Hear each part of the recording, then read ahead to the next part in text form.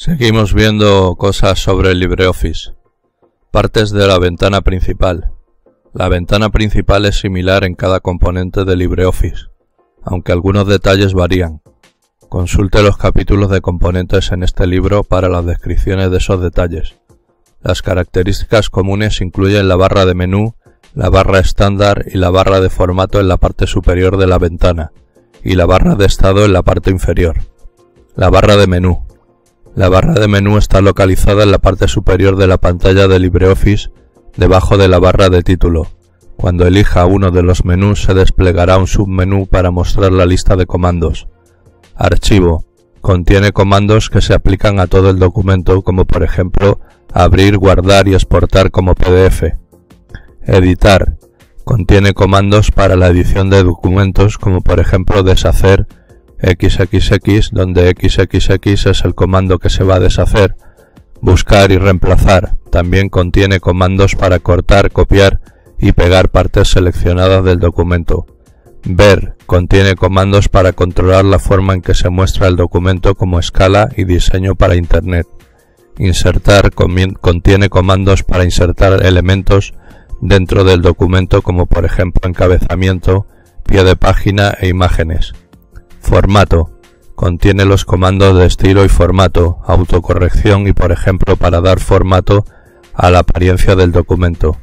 Tabla muestra todos los, comandos para insertar y editar una tabla en un documento de texto. Herramientas contiene entre otras funciones ortografía y gramática, personalizar y opciones. Ventana contiene comandos para la ventana de presentación.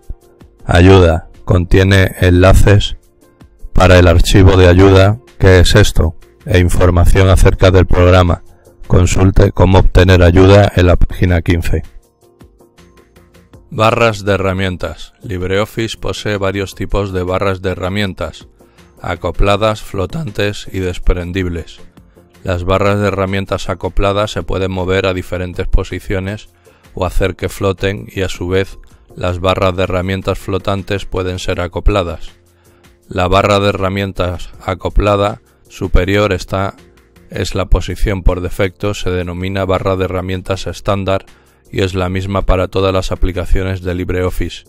La segunda barra de herramientas en la parte superior, esta es la posición por defecto, es la barra de herramientas de formato, es una barra contextual que muestra las herramientas relevantes según la posición actual del cursor del ratón o selección.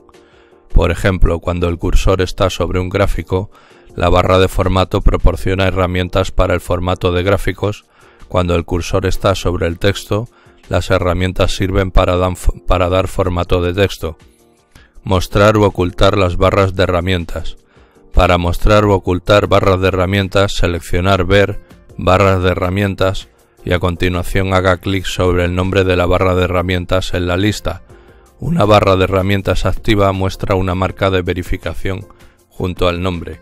Las barras de herramientas desprendibles no se listan en el menú Ver submenús y barra de herramientas desprendibles. Los iconos de la barra de herramientas con un triángulo pequeño a la derecha muestran submenús, barras de herramientas desprendibles y otras formas de selección dependiendo del icono. La error no se encuentra la fuente de referencia muestra una barra de herramientas desprendible desde el menú de dibujo. Las barras de herramientas desprendibles pueden flotar o acoplarse sobre un borde de la pantalla o en una de las áreas de las barras existentes. Para mover una barra desprendible flotante, arrástrela desde el título, vea mover barras de herramientas más abajo. Mover barras de herramientas. Para mover una barra acoplada, coloca el ratón sobre el controlador de la barra, mantenga el botón izquierdo pulsado y arrastre la barra a la nueva posición y a continuación suelte el botón del ratón. Para mover una barra flotante haga clic sobre su título y arrástrela a la nueva posición. Barras de herramientas flotantes. LibreOffice incluye varias barras de herramientas adicionales contextuales, las cuales aparecen por defecto como barras de herramientas flotantes en respuesta a la posición actual del cursor o selección, Por ejemplo, cuando el cursor está en una tabla, aparece una barra flotante tabla y cuando el cursor está sobre una lista numerada o con viñetas, aparece la barra numeración y viñetas. Puede fijar estas barras en la parte superior inferior a los laterales de la ventana si así lo desea. Vea mover barras de herramientas en la página 19. Barras de herramientas y ventanas acopladas. Las barras de herramientas y algunas ventanas, como por ejemplo la del navegador y la de estilo y formato, son acoplables. Puede desplazarlas, redimensionarlas o fijarlas a un extremo. Para fijar una ventana o barra tiene las siguientes alternativas. Haga clic en la barra de título de la ventana flotante y arrástrela hasta que vea aparecer el contorno de una caja en la ventana principal. Luego suelte la ventana. Este método depende de su sistema operativo, así que puede fallar. Mantenga presionada la tecla control y haga doble clic dentro del marco de la ventana flotante o en una zona vacía cerca de los iconos superiores, para fijarla en su última posición. Si eso no funciona, pruebe a hacer doble clic sin utilizar la tecla control. Para desbloquear una ventana, mantenga pulsada la tecla control y haga doble clic sobre el marco o una parte vacía de los iconos superiores de la ventana fija. Personalizar la barra de herramientas. Puede personalizar las barras de herramientas de, varias maneras, incluyendo la elección de los iconos que estarán visibles y la fijación de la posición de las barras de herramientas. También puede agregar iconos y crear nuevas barras de herramientas como se describe en el capítulo 14. Para acceder a las opciones de personalización de la barra de herramientas, utilice la flecha hacia abajo en el extremo de la barra de herramientas o en el título.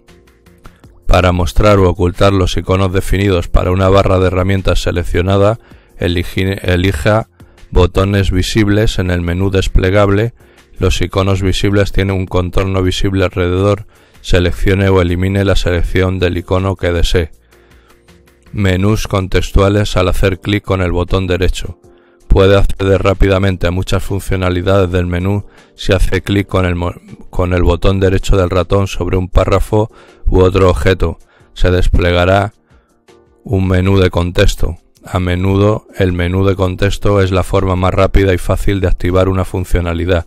Si tiene dudas sobre dónde está localizada una función, puede averiguarlo con el botón derecho del ratón. Barra de estado. La barra de estado está ubicada en la parte inferior del área de trabajo. Proporciona información acerca del documento y facilita la realización de cambios en algunas características. Es similar en Writer, Calc, Impress y Draws aunque cada componente incluye elementos específicos. Se describen a continuación los elementos más comunes de la barra de estado. Página, hoja o número de diapositiva. Muestra la página actual, la hoja o el número de diapositiva y el número total de páginas, hojas o diapositivas del documento. Si desea abrir el navegador, haga doble clic en este campo y los otros usos de este campo dependen del componente.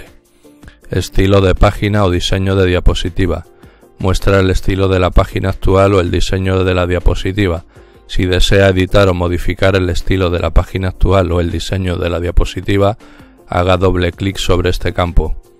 Cambios no guardados. Se muestra un icono si no se han guardado los cambios del documento. Firma digital. Si el documento se ha firmado digitalmente, se muestra un icono. Puede hacer doble clic y ver el certificado. Información del objeto. Muestra información relevante relacionada con la posición del cursor o el elemento seleccionado del documento. Al hacer doble clic en este área normalmente se abre un diálogo relacionado. Control deslizante y porcentaje de la escala. Si desea cambiar la vista de ampliación arrastre el control deslizante de la escala, haga clic sobre los signos más y menos o haga clic en el botón secundario sobre el porcentaje del nivel de escala para desplegar una lista y seleccionar los valores de ampliación. Al hacer doble clic sobre el porcentaje del nivel de escala, se abre el diálogo Diseño de vista y escala.